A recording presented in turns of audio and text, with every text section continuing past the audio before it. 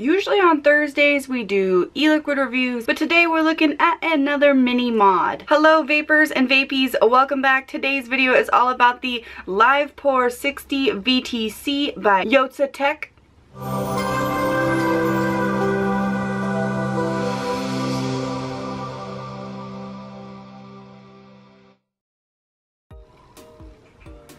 Alright guys, yes, so today we are looking at the Livepor 60 and they do have like the Livepor 80 and so on, but this is the mini I saw up here on the corner of the box. It said mini, so I was like, I should take a look at this. Now, this is a pretty big box, so I'm figuring, you know, like, I didn't realize, because look, just look, Oh my gosh, it's so little. I did not even think it was gonna be that little. And look at this beautiful Tiffany blue color. It does come in this blue, red, black, and white. And underneath this layer, it has the user's manual and a warranty card as well. And there's the USB charging cable, an extra coil, which is a ceramic Kanthal coil, an extra tank piece, and looks like a vape band around that, and an extra glass drip tip. And it is a vape band that comes with the extra glass piece. It's not smoke, it's vapor. That's what this said. So a pink vape band and a Tiffany blue mod. They are after my heart right now. Here's the extra coil it comes with. This is a 0.5 ceramic coil. And here is the little mod. OMG, it's so tiny. There's like a little warning on the glass. Please turn off the airflow hole when you're refilling liquid in case of leaking. Does that come off? That's gotta be like a sticker. what? Why is that not okay? Yeah, it comes off. I was like, I don't want that on my tank. So here is the little mod. OMG, it's so tiny. Like, I did not expect it to be this little and I'm in love with it and in love with the color. Here's a tank. It has an airflow adjustability. We have the screen, the fire button, the regulatory buttons, and the charge port on the side. Here's some battery venting holes. It is a 1500 milliamp hour built-in LiPo battery. And the dimensions of this little guy are 65 millimeters by 32 millimeters by 22 millimeters here for this tank. And this is the IGVI T2 atomizer. That's a mouthful. It has three modes, power mode or wattage, temperature mode, and mech mode. In wattage mode, this little guy goes from 1 to 60 watts, and in temperature mode, it goes from 100 to 300 degrees Celsius and 200 degrees to 600 degrees Fahrenheit. And this can vape a resistance of 0.06 all the way up to 3 ohms. So 5 clicks to the fire button turns it on. One, two, three, four, five. And it says Livepor 60 then it reads new or old coil, so you push the plus regulatory button for a new coil and the minus regulatory button for an old coil. So I'll just say it's a new coil because I'm not sure which one they tested this with. And it's reading it at a point 0.89 and it is a 0.8 ohm coil in here. I can actually see through the glass onto the coil as to what it is. This tank is a top fill tank so you just take off this top piece and this little blue ring and then you can fill into these fill slots. All you have to do to change drip tip is pull off this little top cap piece, looks like a little top hat, and put the glass drip tip on and I'm going to do that right now because I definitely like the look of drip glass drip tips better. Alright, so there is the glass drip tip. I'm going to go ahead and fill up my tank with this flavor flavor by Modus or Modus Vapors. They are so good. Two of their flavors I really like. This one, which is the Akuma, and I will leave a link below if you want to check out what this flavor is. And then the other one is a strawberry, is like a, a pink lemonade flavor. So, and it's kind of like, that's a summertime vape for me, so I picked this one because it is more sweet. All right, I'm going to turn the drip tip all the way open because that's how I tend to like my airflow. Oh my god, it's so cute and little, and I kind of really want to do a one month update on this because I could see this being an on-the-go mod for me, depending on how it performs today I could see this like going with me everywhere. And in yesterday's vid, you guys told me to, instead of having Taz locked out and meowing at the door, to let him in. So I let him in and this is him being very annoying.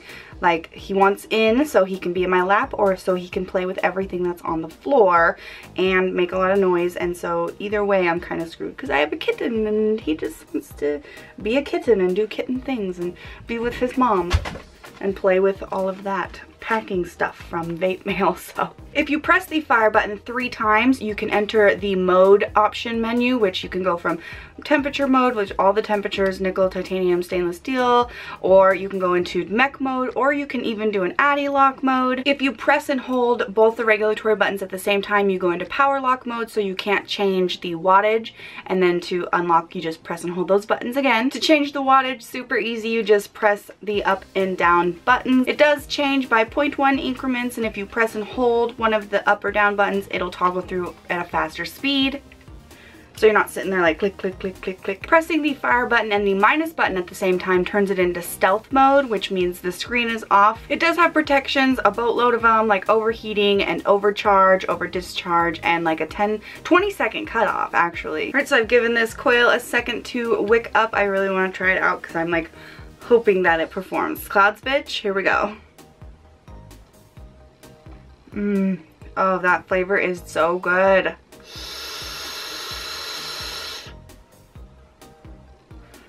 This actually has massive airflow. So this might be one that I personally prefer to have halfway because that's like a massive loud airflow and I want like more cloud. Wow, this little guy and that's only at 37 watts. I do prefer to vape in the 30 to 50 range. I can tell you the flavor is excellent. This, this e-liquid is so delicious and it's coming through really well through this coil. And I mean, the proof is in the cloud, guys. My face looks very shiny and sweaty, but it's not. It's like this cleansing stuff I have on my face, hence I have very little makeup on right now because I'm trying to cleanse away. I have some like deep pimples on my chin right now that I'm trying to clear away before they get painful. If anyone out there has ever dealt with like those really deep pimples that just don't want to come to the surface, I feel you. It is getting a little warm around here, which I don't like when that happens. It's not like too hot, but it is getting noticeably warm. So I'm going to turn it down in wattage and see if it still performs uh, good at a lower wattage and that way the tank might not get so hot at the base. So I'm going to take it down to 30 watts. I know with these ceramic coils you definitely need a vape at a higher wattage than just a regular old Kanthal but we'll see because I don't want it to be getting hot like that.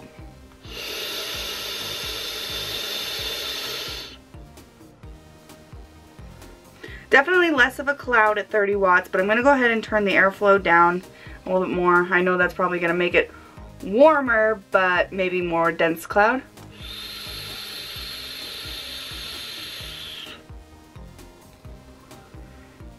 So it definitely performs better at like 40 watts.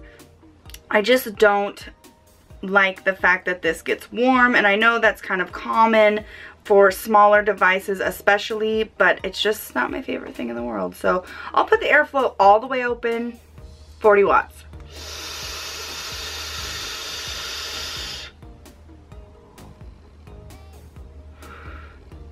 Mmm, gosh, I, I mean, it is the only like the, that's the biggest downside for me is the fact that this is getting hot right here otherwise it's performing well it's so little i love it and it's performing greatly with the clouds and the flavor but I just don't dig the heat on it, you know? I mean, it's not coming to here, which sometimes I've had what, I think, was it the Raphael that would get warm on the drip tip? But it's not getting warm here, but it's getting warm here.